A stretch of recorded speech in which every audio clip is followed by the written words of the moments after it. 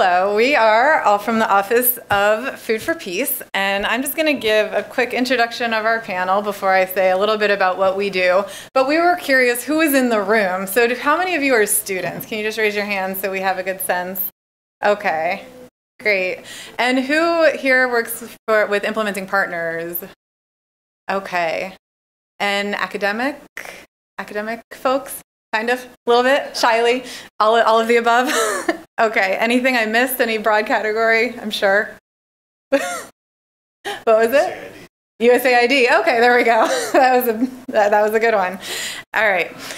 So we're going to talk today um, about how our office at Food for Peace uses evidence to address food, and food and nutrition insecurity from really holistic, multi-sectoral approaches. So first I'm going to introduce our panel, just kind of to keep things moving as we start going. So we're going to, so we're all from the technical team at Food for Peace, so we kind of work in support of our GEO colleagues and advise um, and have kind of advisory roles from the technical side. So the first person to talk today after me is going to be Mike Mansky, who's a nutrition advisor.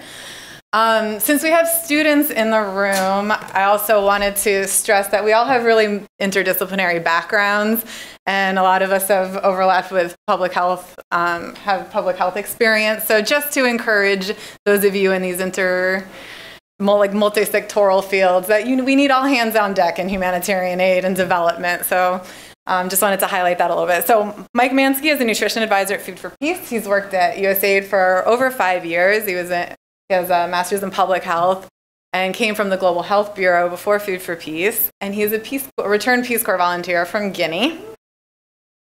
Peace Corps volunteers in the room? Okay. uh, next is Nicole Van Abel. She's the senior WASH advisor at Food for Peace. Um, so WASH, water sanitation and hygiene. Uh, she has a background in environmental in environmental engineering and microbi- microbiology and public health. She has a master's, master's and PhD degrees in environmental engineering and public health. And Charlie Davis is an agricultural advisor at Food for Peace. He's done a couple tours with USAID and other roles in Mali and Ukraine, and before that worked in agriculture development in several other countries. And he has a master's in agricultural development economics. And then at the end of the table there is Jenny Baca, who is a gender and youth advisor at Food for Peace. And her work is focused on the intersection of social inequality and environment. She has a PhD in human geography. And my name is Hillary Cook. I'm on the monitoring and evaluation team. My background, I have a PhD in medical sociology and race and ethnic relations. So we all come from these very inter multi-sectoral areas, which I think is really lovely. So I'm going to give a very brief introduction of what we do at Food for Peace. So those of you who are, is anyone familiar with, with the work there?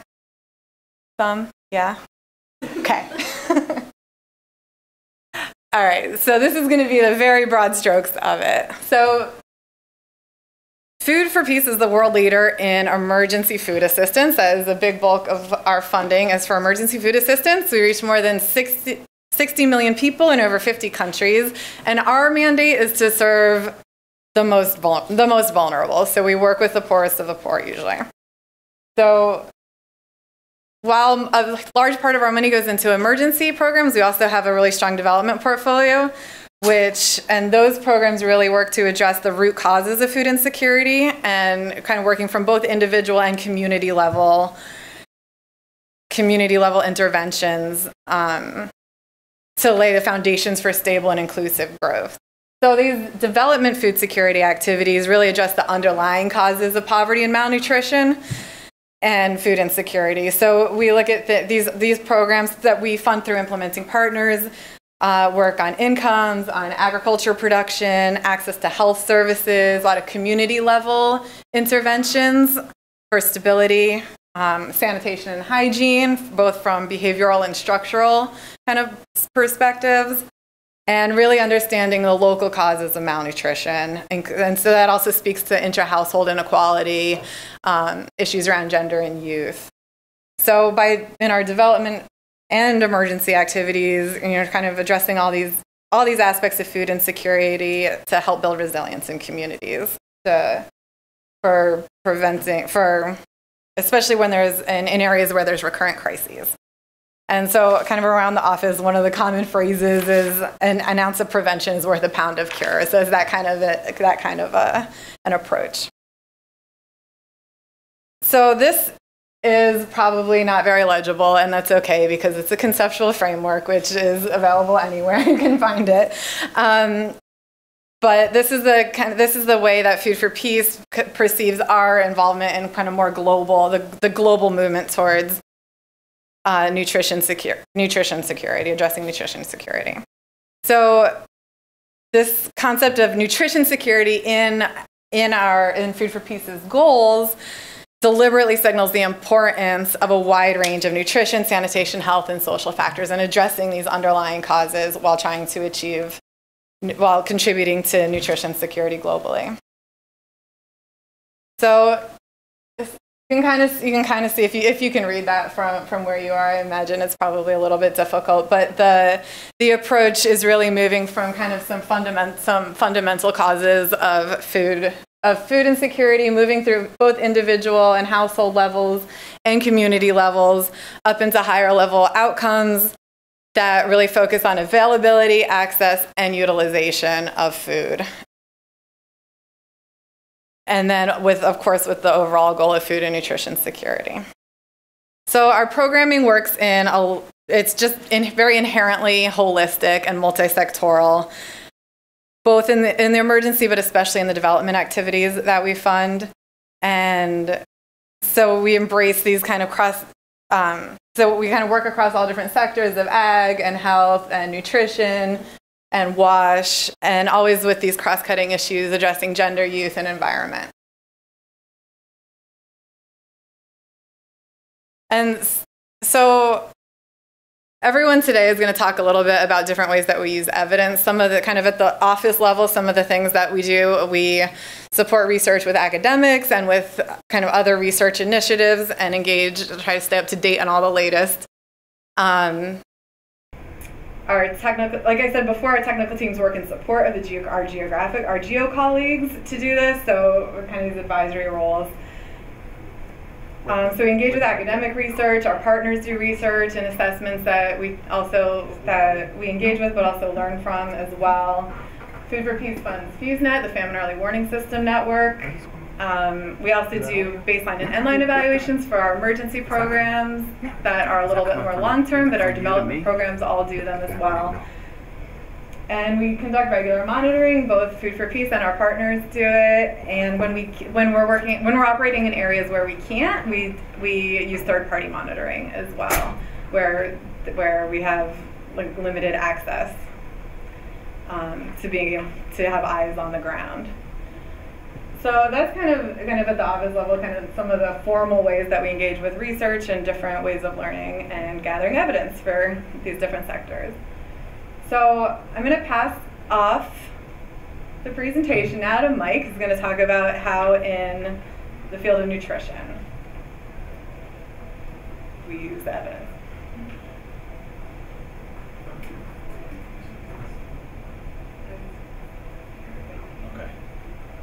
I'm okay. Does everybody hear me okay? All right, great. I'm, I'm using the doohickey. I believe that's the technical term. Yeah, so as Hillary mentioned, and just because we have uh, health students here, I, I, have an MPH, and somehow um, I ended up working in USAID, Office of Food for Peace, but I work on nutrition programming as a nutrition advisor, but we also do cover general public health programming, maternal and, and uh, including maternal and child health.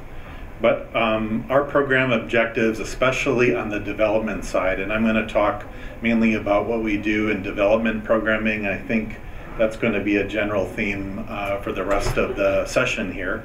Um, our objectives really do focus on reducing uh, malnutrition, especially uh, reducing stunting or chronic malnutrition uh, in children under five and our focus is on the, the, this first thousand days, so from from pregnancy until the child reaches about the uh, until the child reaches the age of two.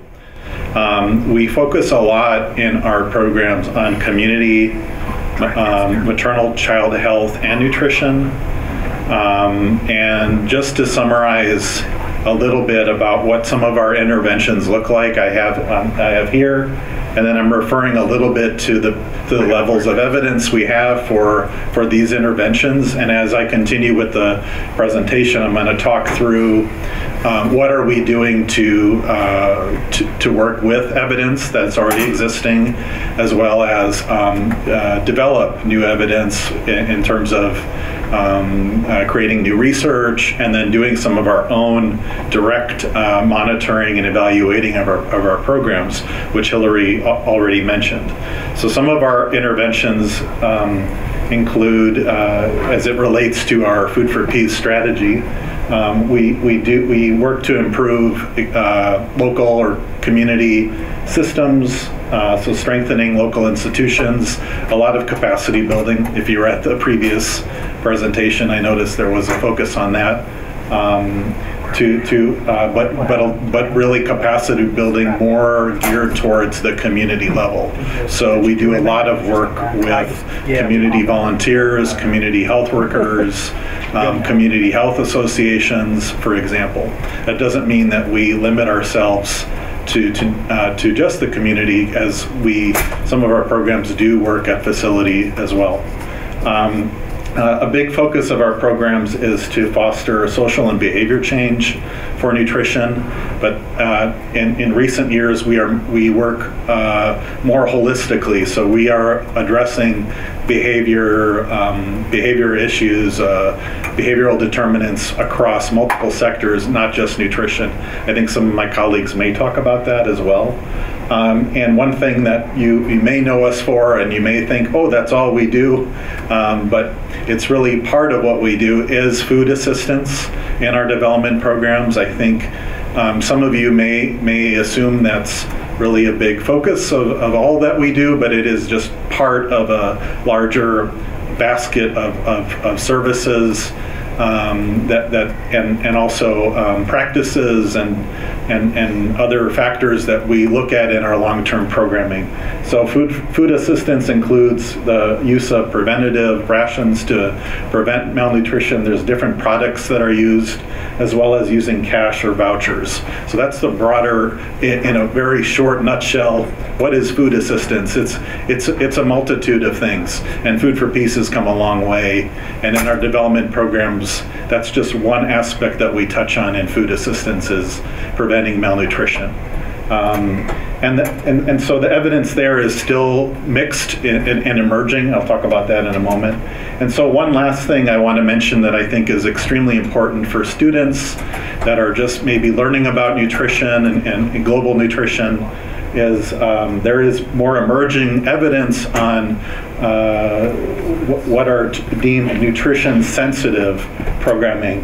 So I'm just listing a few here gardening for nutrition, food safety, hygiene, family planning, uh, youth literacy, um, and, and we, we touch upon a lot of these factors uh, and just to go with the theme of illegible conceptual frameworks, here's one that if I were a, if I were a student, I would really want to get to know a little bit.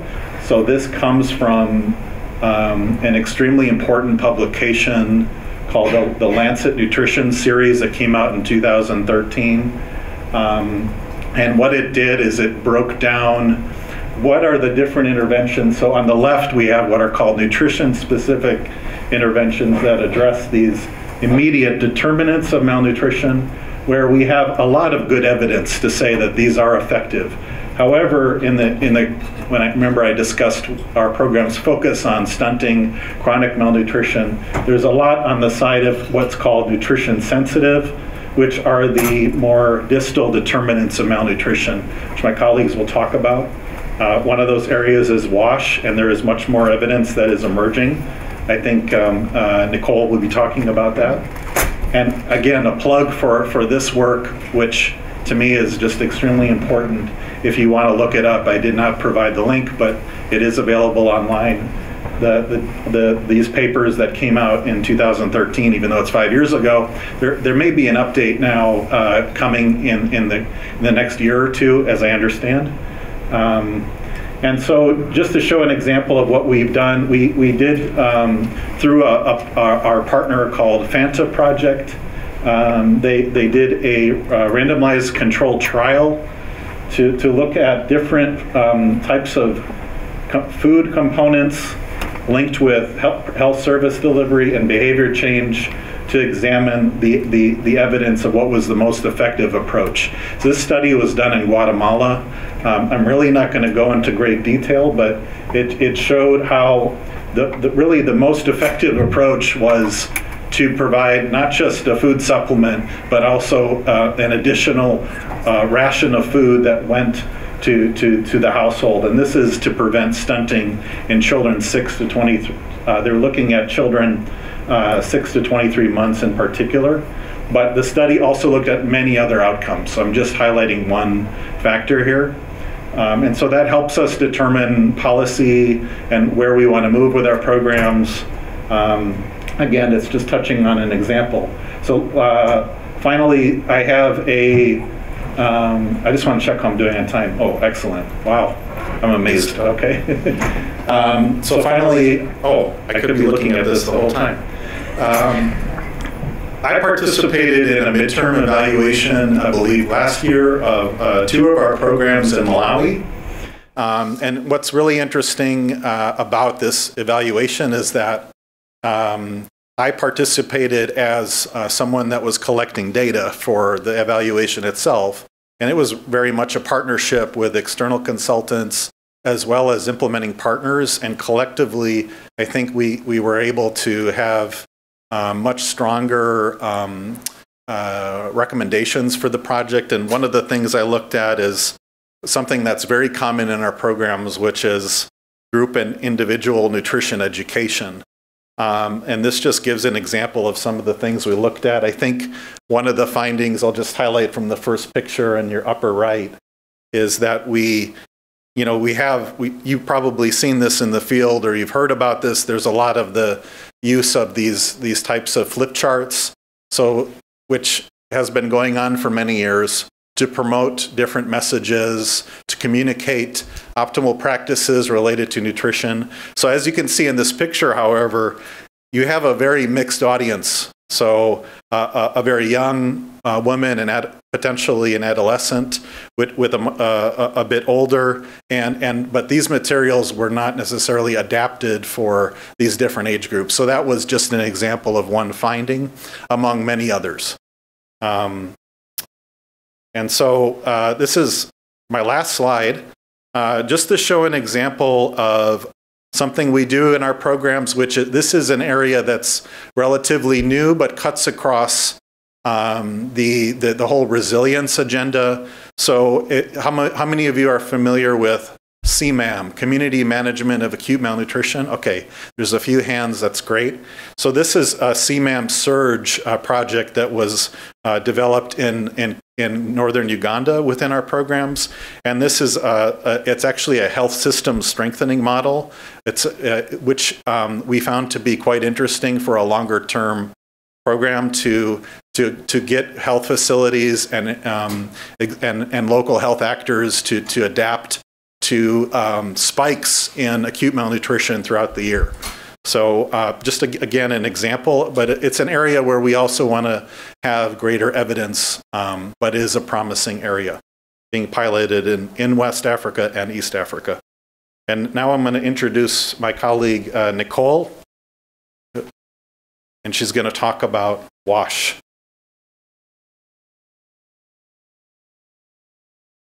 Hello. Um, so I'm Nicole, and I am a WASH advisor at Food for Peace. As mentioned, my background is in engineering and microbiology, so I'm going to get very excited talking about pathogens, which you'll see later. Um, so, WASH and Food for Peace has the goal to intercept fecal oral pathways.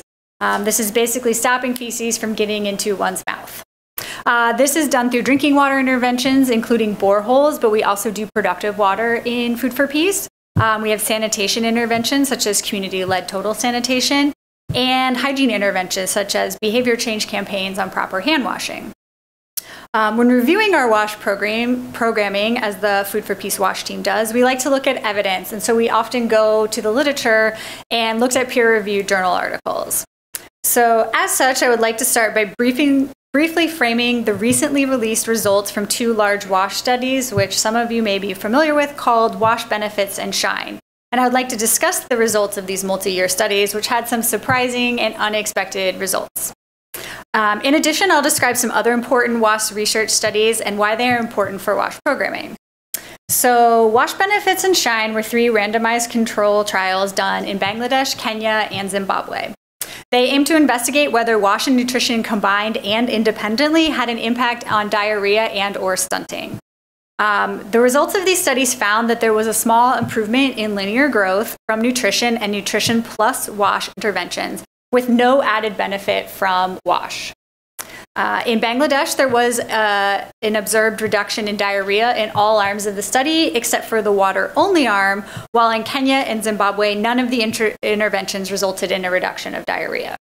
So these results were quite unexpected because I think everyone thought that we were going to see uh, reductions in um, WASH outcomes. Um, so these surprising results required reflection, and some key considerations must be discussed including that all interventions were not at the community level. Instead, uh, they were provided at the household level to pregnant and lactating women.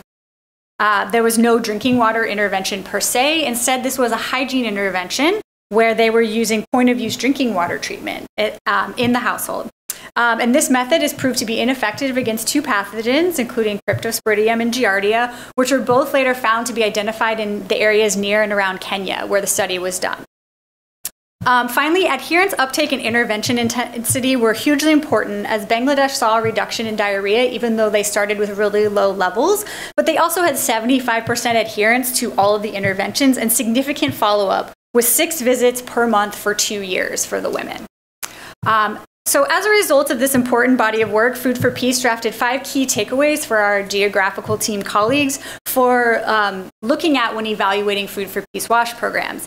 And these are the five that are listed on the slide, which is to encourage holistic community level WASH programming, to take a rational approach to targeting all primary fecal oral disease pathways, including animal feces, um, where appropriate, include sustainable drinking water interventions, um, evaluate the intensity and efficacy of behavior change interventions, and consider how to reduce barriers to behavior change. Um, so, next, uh, we were talking about community uh, programming of WASH. So, one result from the WASH nutrition research was the need to move beyond household level sanitation to community level sanitation, such as CLTS.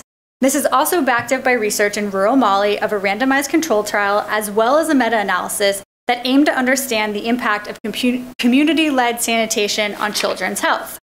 The results found that for the RCT, children in CLTS villages were less likely to be stunted than those in non CLTS villages. And for the meta analysis, community latrine coverage was positively associated with children's height and weight, in that every 10% increase in latrine coverage was associated with a 0.031 increase in child's height for age Z score.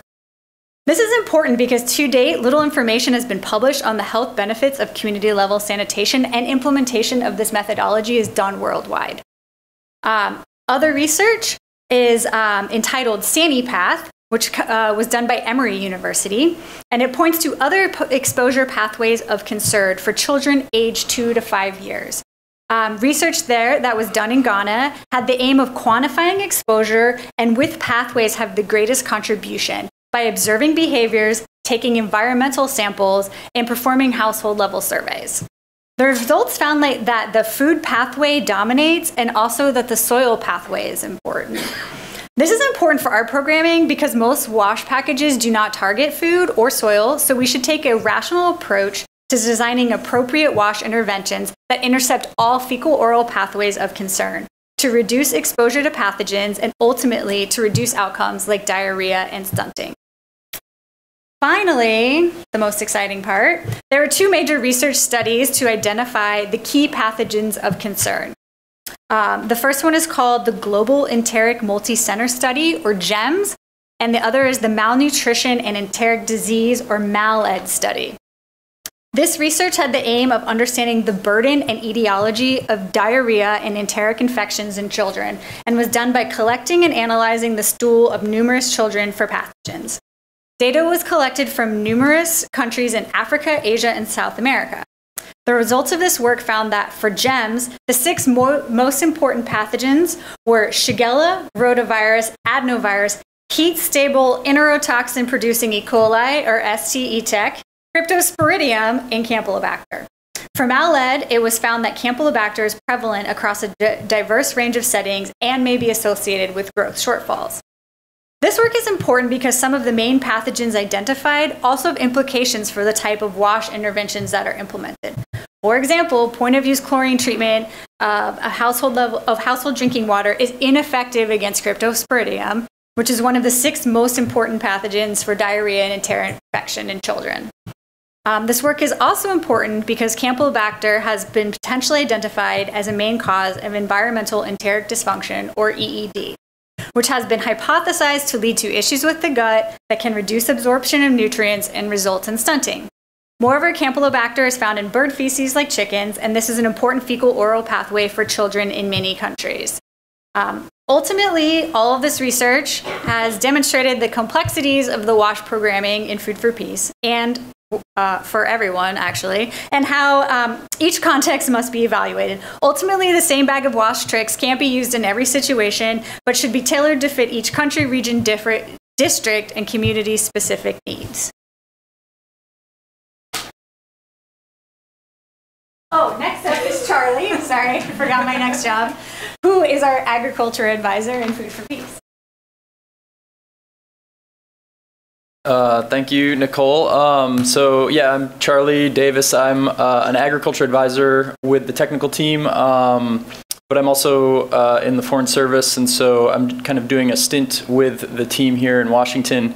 Um, but I've mostly been overseas, uh, kind of overseeing the implementation of of uh, not Food for Peace activities, more kind of um, Bureau for Food Security funded activities through the Feed the Future initiative. Um, but uh, so um, my uh, my kind of section of this presentation was just going to kind of walk through a little bit of what Food for Peace does in terms of uh, agriculture activities, and a lot of it is can somewhat be reflected uh, throughout, I think, a lot of USAID programs. Um, you, Food for Peace particularly focuses way more on um, on uh, the most vulnerable households and definitely focuses more at the household level as opposed to policy change or um, kind of higher uh, higher levels of the value chain, uh, like working with processing and things like that. That would be more um, other parts of USA that would focus on that. Um, but um, first of all, I just wanted to kind of uh, talk a little bit about like why Mike Mike mentioned it, uh, but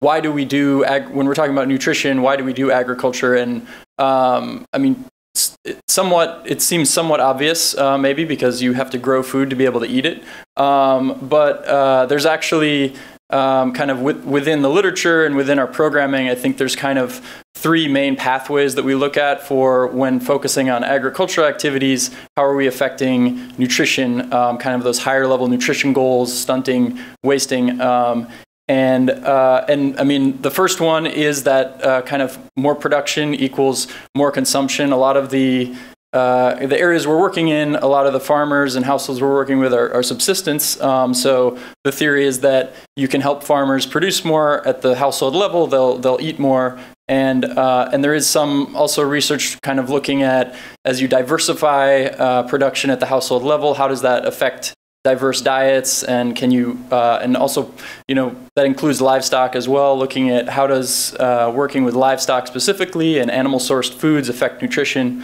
um, i mean yeah uh, and i'll talk a little bit more about that later but um, the other one is obviously uh, if your main livelihood is agriculture you're um, there also is a good chance that you're selling some of your production so um, increasing incomes and then that's going to allow you to be able to purchase uh, a wider variety of food and be more more stable in uh, the types of food that you're eating. And then also women's empowerment is uh, another key aspect of a lot of the livelihoods work that we do. Um, and uh, women as uh, kind of decision makers for the family, uh, decision makers around what the household's eating, uh, particularly children, and um, and how that affects nutrition. So those are kind of like the three main causal linkages, pathways that you see uh, in the literature. And I think Mike pointed a little bit to some of the some of the actual research that backs some of these theories up. And uh, it is uh, we actually one of the uh, grants that Food for Peace funds is the Food Aid Consultative Group, uh, right?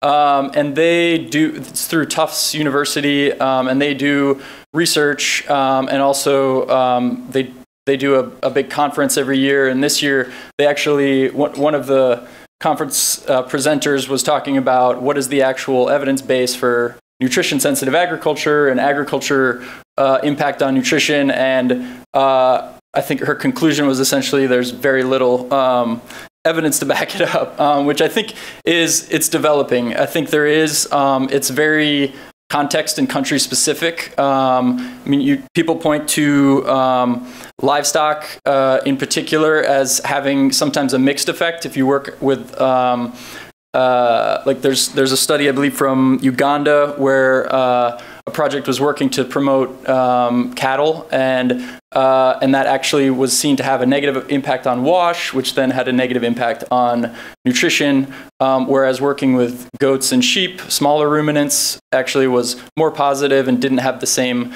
effect on WASH uh, or, or, hygiene issues.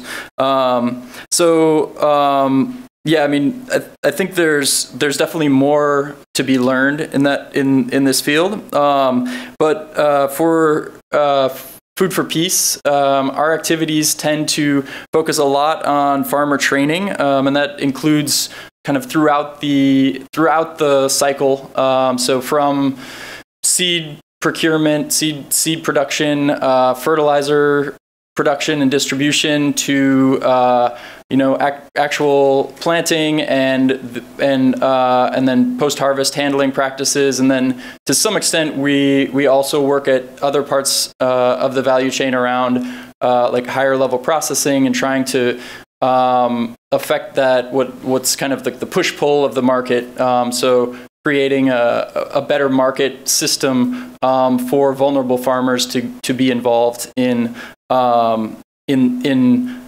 their their national agricultural system. Because um, a lot of times the the places that we're working, um, farmers and the communities are extremely isolated, and so they. Um, even though um, there may be a national market for things, um, they're so far removed, especially during like rainy season when roads might be washed out, um, that they're not actually able to access uh, markets. Um, so that's where we actually do do things like uh, feeder roads and market roads um, and and more um, kind of small scale infrastructure uh, projects as well. Um, so uh, yeah, I mean another key activity. Um, and sorry, this my slides don't actually match my presentation very well. I sent in the slides before I knew what I was going to say. So, um, but um, this is more to give you a little bit of some, something to look at while I'm talking.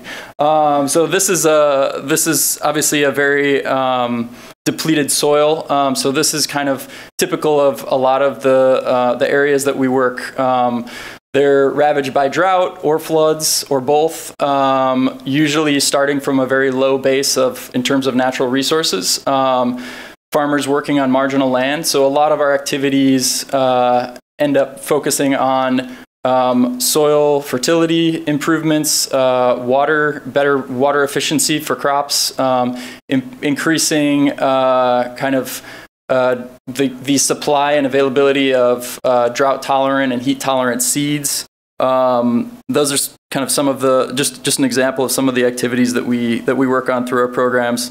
Um, and uh, and then we we also do uh, quite a bit with kind of reforestation and community uh, watershed management. So looking at those community resources that may not belong to an individual household, um, but may be managed by uh, a community group, a water user association, um, or um, I mean, in some cases, we're actually helping to establish uh, like forest management committees, um, and uh, a lot of that has to has an impact on soil erosion. Um, it's also, uh, you know, there's research to show that actually forests serve as a source of resilience for communities that are hit by natural shocks. Um, so um, another another another activity that we work on that um, targets those those vulnerable populations.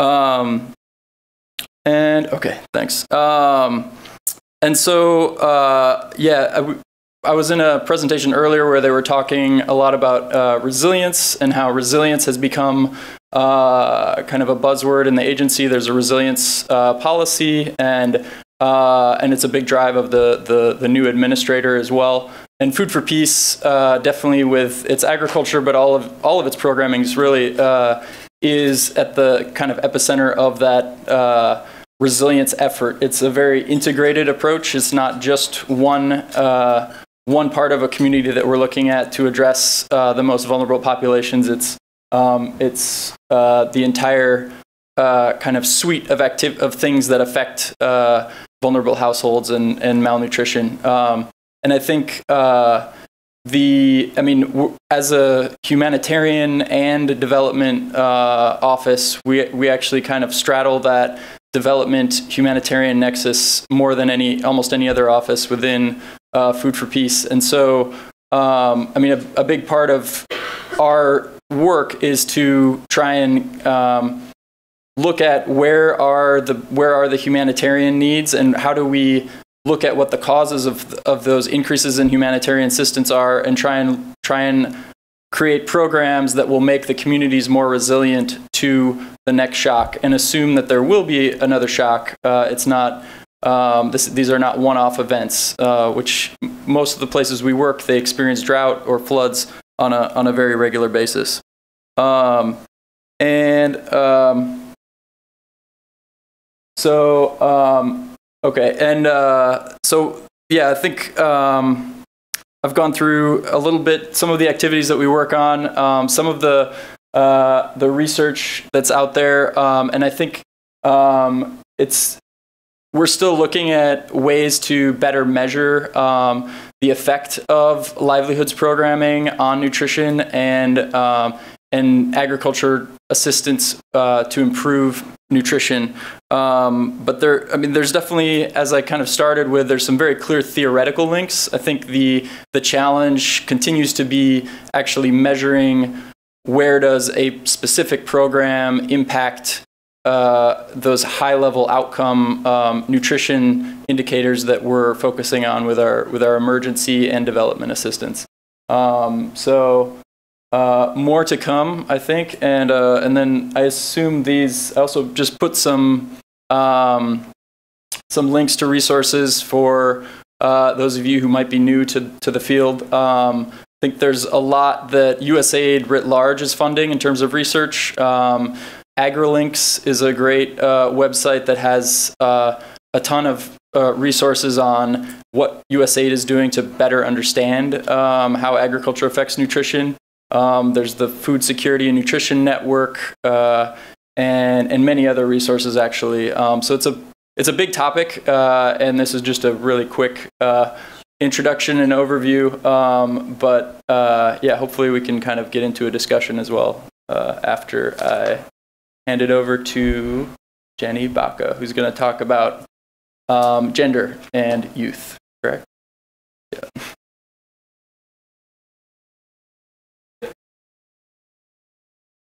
Hi, everyone. Is this good? Can you hear me um, in the recording and everything? So, how's everyone doing? Still awake, still doing well. This is good. Um, so, I'm Jenny Baca. I my background is in human geography, and it's been a really fun transition to take some of that expertise and apply it at Food for Peace and trying to think through intersections between social inequalities and the way we use the environment, social inequalities and access to food, social inequalities and the ability to make full nutritious utilization of, for, uh, of food resources. Um, so Today, like all of my colleagues here, we've had to consolidate a lot of our thinking and a lot of our experiences and a lot of the work that is out there in our technical fields into a very small little piece. And I may have pitched this at too general of a level, but just bear with me here. Um, I'm going to talk about two different things. The first thing, I just want to talk about why do we even think about gender when we're talking about food security? I think this is a really important question to ask and to sort of step back and work through in a concrete way.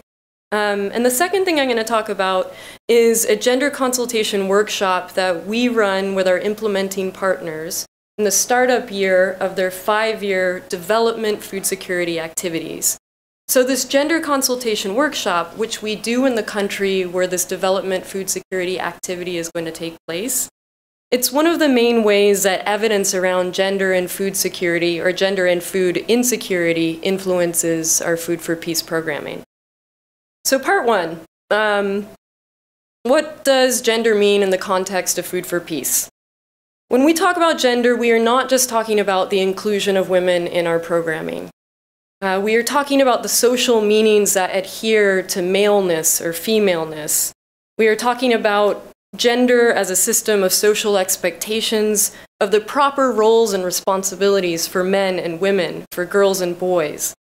These proper roles often bring different opportunities, they bring different limitations, they bring different types of knowledge, and they bring different forms of power. At Food for Peace, we're interested in understanding how can gender cause inequalities between men and women, girls and boys. Um, and these types of inequalities are obviously infinite. But some of the key areas that illuminate how gender plays a role in food security or food insecurity uh, include differences in access to resources, um, assets, services, differences in how men and women spend their time, this is something that we think about well, what's the balance in how men and women spend the time, and what's the balance between uh, paid employment, un unpaid subsistence and care work, and volunteer activities? A, a, third key area of inequalities is differences in access to leadership and decision making power. So, this slide up here shows how some of these gender inequalities that I've just mentioned can really affect the multiple dimensions of food security. So, I don't know if people are familiar with the different pillars of food security. Uh, they talk about food availability, food access, food utilization, and now, I don't know, I guess in the last four or five years, maybe longer than that, food um, stability or the stability of your access to food. Um, this one walks us through just the first three pillars. So, because women in many of the places where we work, and particularly with the populations that we work with, um, most women have less access to and control over resources like land and capital, their agricultural produ production tends to result in lower yields or less diverse yields or yields of lower quality. This isn't anything inherent to women's ability to farm. This has to do with the social context and uh, characteristics of their ability to own and access land, to own and access uh, inputs like higher yielding seeds, things like that. So, this lower access to land or this lower access to inputs into agricultural production often results in lower overall food av availability because women farmers are not able to produce as well. Okay, so for a second one, uh, women earn generally earn lower wages than men. They often have less access to paid labor. Sorry for the puh, paid labor than men.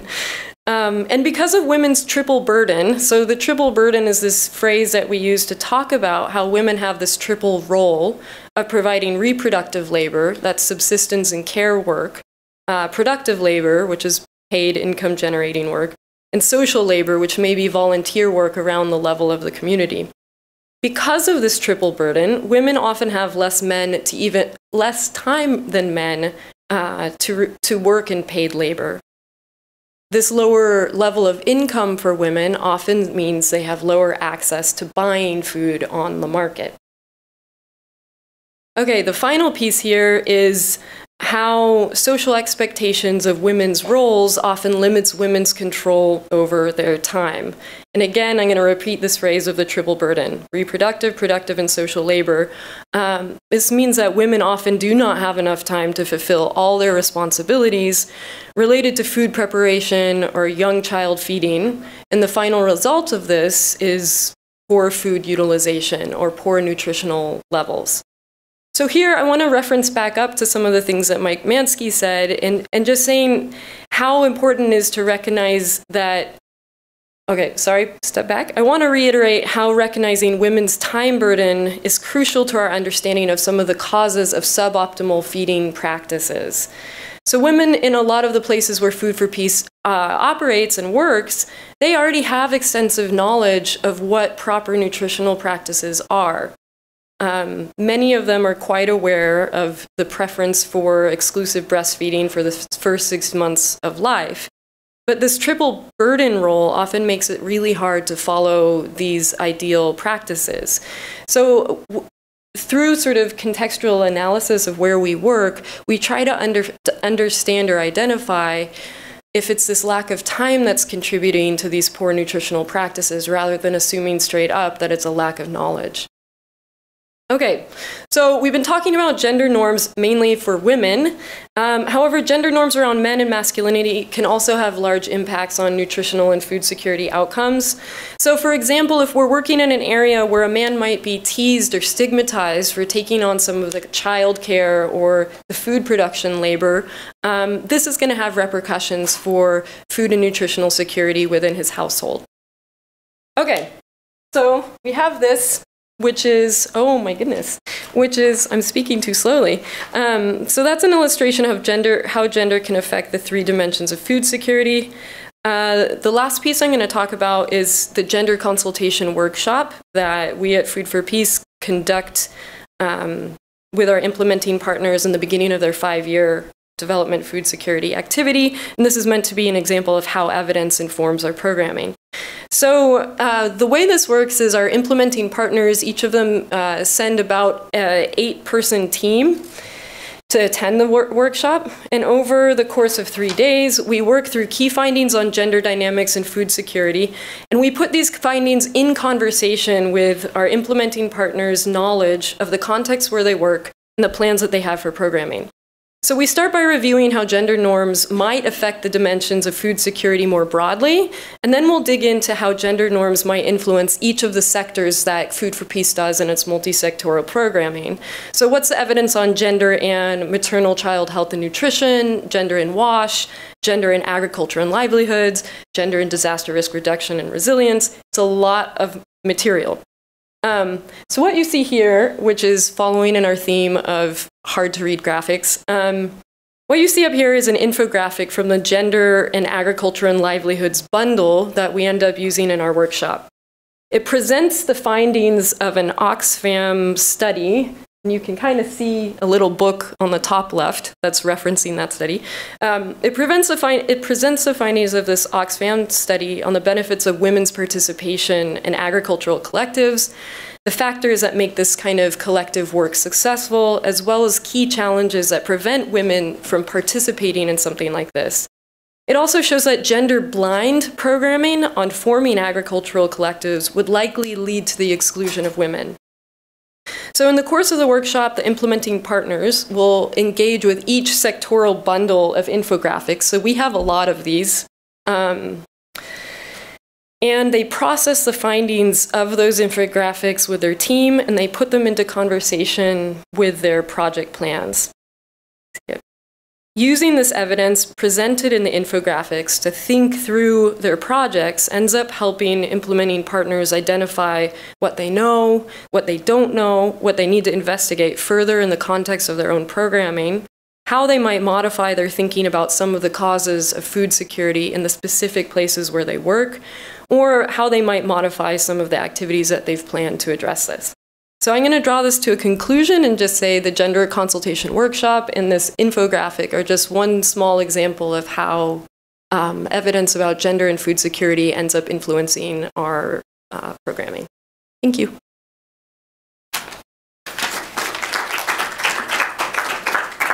Okay, we wanted to make sure to leave time for question and answer. So I think we have to run microphones around, so maybe start waving now if there's any questions.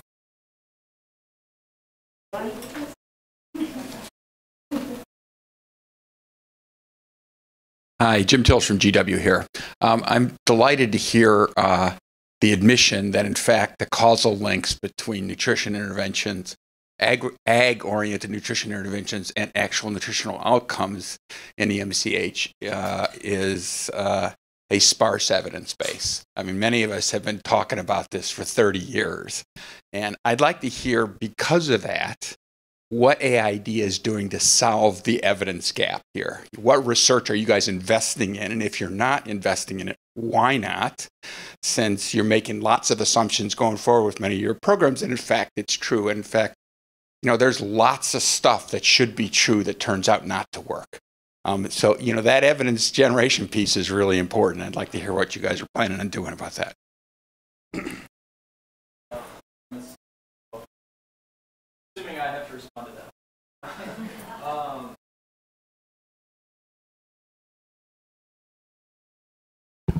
oh, there we go. Um, so I agree that this it's really important, and um, we should be doing more to fund research. I uh, we have to be careful, I think, because we're we're on camera, but um, um, I, within Food for Peace, we are uh, obviously humanitarian um, part of USAID. So our ability to fund a lot of research is somewhat limited, I would say. Um, but the more of the funding, I would say, goes through the kind of Bureau for Food Security, which does have a, a learning um, agenda um, and kind of the the nutrition nutrition agriculture link uh, i believe is part of that. Um, and we do have these i mean one of the many resources i put up there was a link to the the different um, innovation labs um, where we fund a lot of research with with different um, universities mostly land grant universities um, but that's obviously a, it's not all focused around nutrition a lot of it is around uh, improving productivity and um, maybe reducing post-harvest losses. Um, yeah, I think uh, I think it's a good uh, challenge and a good um, question to to USAID writ large. Um, I am not able to speak uh, very informatively on where where we're going in terms of that research funding, um, but I do think it's an area that needs more more research. I would agree. I just want to quickly mention that um, over the last maybe three or four years or so, the the SPRING Project uh, was looking into this. Um, uh, in, in, in particular, nutrition sensitive agriculture pathways for, for better nutrition. So looking at income, looking at uh, agriculture production, how that may that may lead to better nutrition, as well as uh, I, I'm I think uh, women's empowerment, and now there is a new iteration, uh, a new project that was recently awarded that I think is going to be doing quite a bit more on on generating evidence. Um, yes, and then right after you, we have. So if you just pass the microphone. Okay. Uh, hello. Uh, I am Mark Mpasa, uh, originally from Malawi. I'm here at GW studying global health. Uh, my question, I think, has to do with you of what you presented. You presented about uh, the Ubale project, which uh, USAID is implementing in Malawi. Um, specifically, I want to know like what what are like safeguards that uh, USAID has put in place in order to reduce the undesirable effects that the project that you are implementing in the communities uh, uh, I'm coming up with. I'm talking about this because uh, I think two years ago I was involved in a, a certain project uh, which was about long-term effect uh, forms of contraceptives. So we found out that most women were dropping from uh, these programs of getting uh, contraceptives because they wanted to be pregnant and also to have kids because they ones that have kids of less than two years they were getting assistance from the Ubale project getting food. So those who don't have kids they were not getting the assistance. So my question is coming from that um, from that experience, like uh, because that's I can take that as an undesirable effect that it has in the community. We found that we were trying uh, like to uh, reduce population growth and things like that, but because of this found that women were dropping out from, from contraceptives. Thank you. Uh, thank you. Uh, I'll I'll do my best to answer that. Um, I think you know one of the things I, I mentioned is that our programs do try to integrate um, maternal and child health programming, including family planning. And we in Malawi we actually uh, funded a partner to look at how could um, one of the how could the projects actually strengthen uh, family planning programming, um, and that's uh, again our, our our our partner FANTA project, and you can find some of that online. But you know we we take that very seriously. Uh, one thing that we when we do look into these some of these instances where there are reports of reduction in contraceptive use or reduction in uptake of family planning services. Um, we we do we we have looked at, or at least partners have looked at this and found that the reports are coming because programming is also uh, is also encouraging uh, uh, greater use of ANC services, and so data, greater data is being generated in it. And so, in some cases, we're um, we found that even though there are reports of more pregnancies, it's there's also more women coming to health facilities as a result of the program.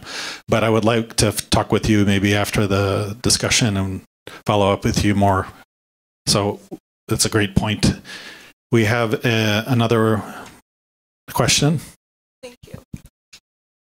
Hi, my name's Tessa. I'm with Special Olympics International.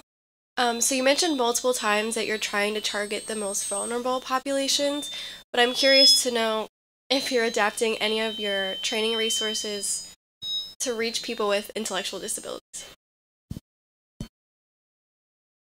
Hi. I think I think I'll take that one, I guess. Um Yeah, one of it's kind of a hard question to respond to. I know that um, speaking for Food for Peace is different than speaking about USAID more generally. Um, and I am on the gender and youth team, and we're also, we should be the team that starts looking at and thinking more about people with different abilities and the way our programmings can be adapted to that.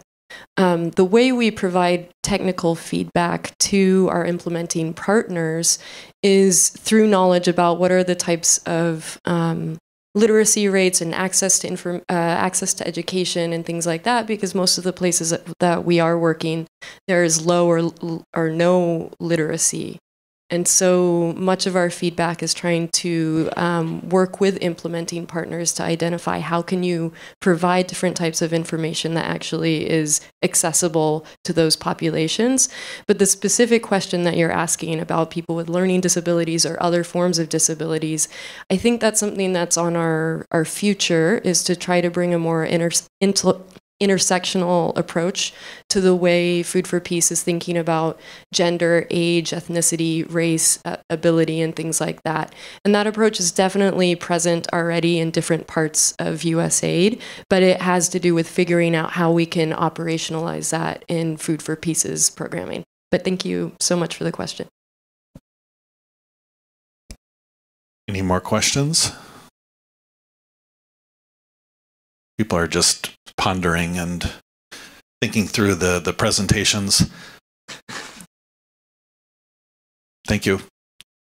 Hillary, I leave it to you. No, I mean, I guess I think our time is up anyway. So thank you all. Um, yeah, thank you for for joining us. Feel free Thank to you. talk to us afterwards.